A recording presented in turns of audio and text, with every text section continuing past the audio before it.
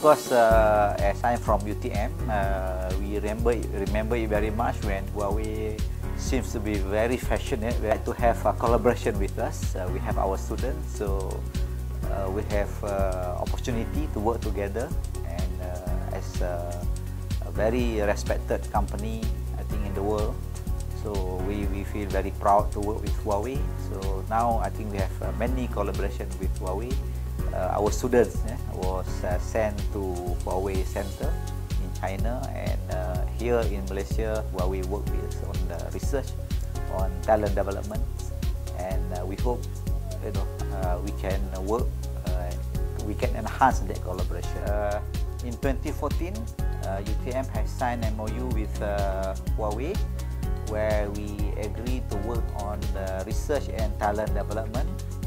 And after that, in uh, we have another program where our students participated in uh, what we call Seeds for the Future program, where we send our students to China, sponsored by Huawei.